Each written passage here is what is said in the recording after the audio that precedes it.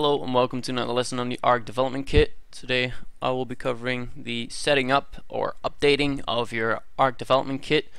If you haven't done already, you should create a GitHub account and an Unreal account.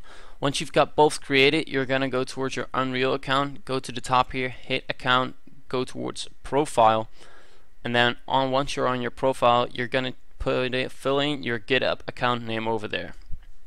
Once you've done that, you'll receive some emails. You have to verify those, and you should also receive an invitation for the Unreal um, GitHub uh, group.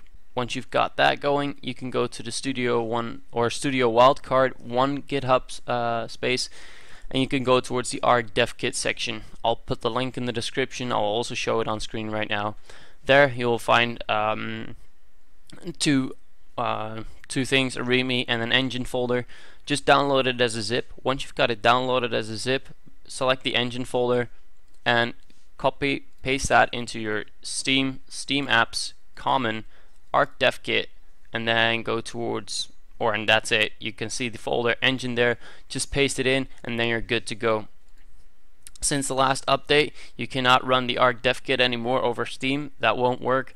It will just give you the uh, pop-up that you should um, that you should run the dev kit over um, a batch or a bat file. So we go towards program files, Steam, Steam apps, common, ARK Dev Kit, and here you'll see it, ARK Dev Kit. You don't need to use the launch, just use ARK Dev Kit Windows batch file.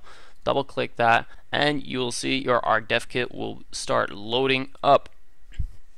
Um, that is basically it on uh, on how to set that up and how to update it. So keep doing this every time a new update for the dev kit has been released. And um, if you have any questions, you can post them in the comment section. I'll try to answer them as soon as possible.